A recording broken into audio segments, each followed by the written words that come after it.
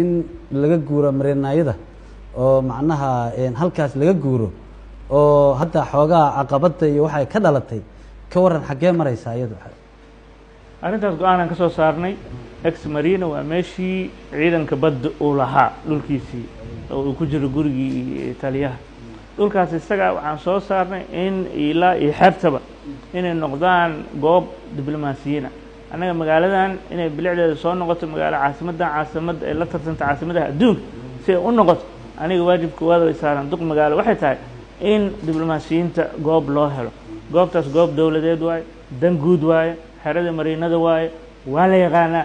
Cidda maanta ku doodaysa inay documenti u haysato waa waa nasiib daro marka horeba inay documenti qaataan loo sameeyo ma ahayn waddankan wuxuu gaaraa mar lala xisaabtamo qof kasta oo dembi ka gala nin kastoo hogaamiye kooxeed ahaa nin kastoo dad dad dilay nin kastoo dembi galay nin kastoo hanti boobay.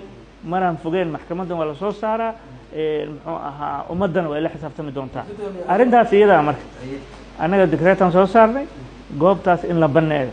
Dikreetadana weli waa sideedii waxaa jira dad dhahayo documentiaan u haysanaa waxaan ka codsannay qaarkood la fariisanay inay noo yimaadaan wixii documenti ay haystaan ay keenaan. Ma documentigoodii ma si qaladaa lagu bixiyey ma saxuu ahaa ma muxuu aha ma dhul kale iyo wax kale loo raadinaa? Maxaa laga yeelaa?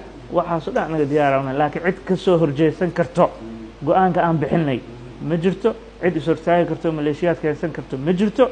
Dowladnimo inay socotaa la rabaa waa ku dhimanaynaa in dowladnimadaas ay hergeshana waa iga go-an tahay aniga